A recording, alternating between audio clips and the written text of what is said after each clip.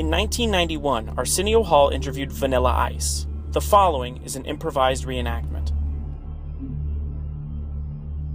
To watch the word for word interview, click here.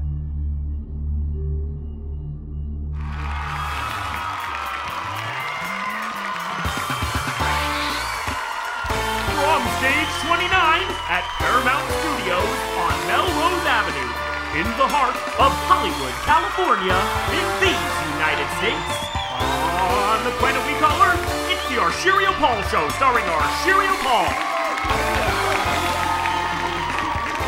His debut album is called To the Extreme. Please welcome Vanilla Ice.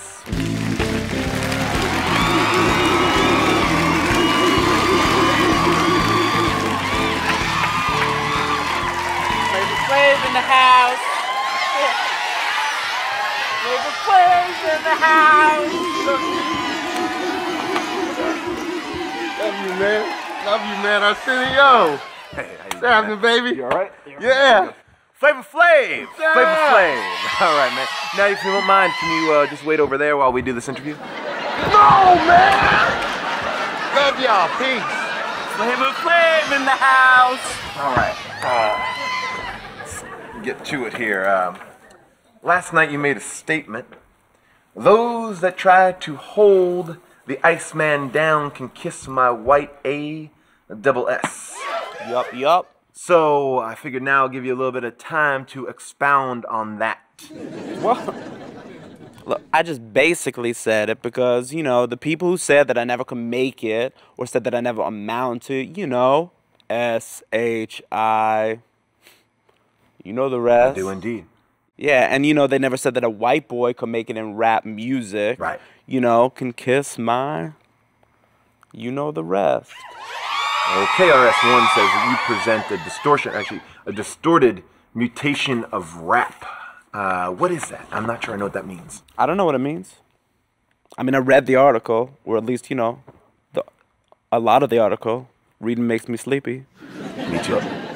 They're showing their own jealousy, man, and that's it.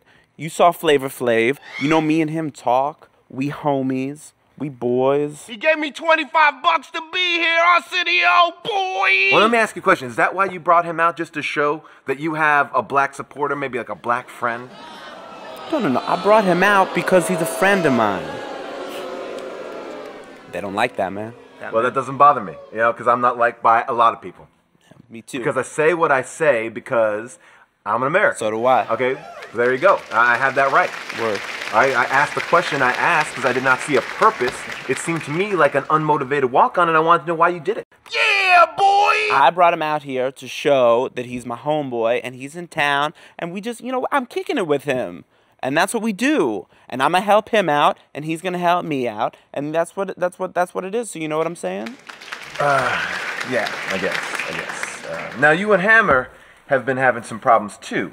Now huh, Hammer took you out on the road, and you've been quoted in a lot of interviews saying things about him. Uh, where did that battle come about? You know, when did the friendship break off? There's no battle. We're still friends, as far as I'm concerned. I never said anything bad Well, that's not him. true.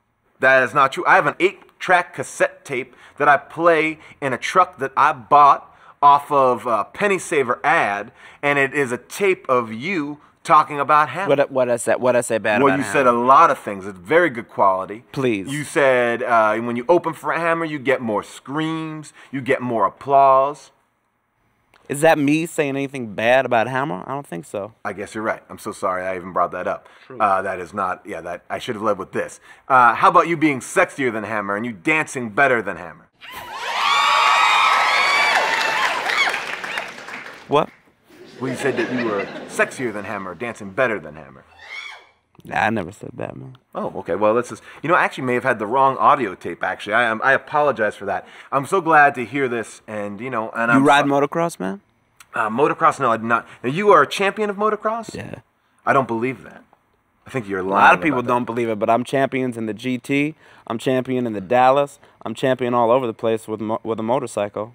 Be that as it may, I talked to Hammer last night, and I want you to know That he said I'm a good motocross driver? No, he has never seen you do motocross. As a matter of fact, Hammer can't be anywhere near motocross because uh, his family was killed by a motocross when it, somebody jumped off a track. And Yeah, and how come nobody asked him if he's lying?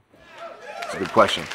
You have to have Hammer on the show and talk to him about motocross. But on behalf, man, on your behalf, I want to tell you that I talked to Hammer last night. Brother was really hurt by it. He also talked to me about uh, Twin Peaks. He doesn't get that too. So maybe you want to call him and explain Twin Peaks to him. We can get that together. So uh, I don't watch that stuff. I don't watch that stuff, man. let's shake hands. All right. All right. This is Vanilla Ice, and the album is called To the Extreme. Coming up next, the lovely and talented Vivica A. Fox shows off her knitting. Time for Governor Bill Clinton. Back with Sting and the. What does that mean, play us out? We'll do it live. We'll do. We'll do it live.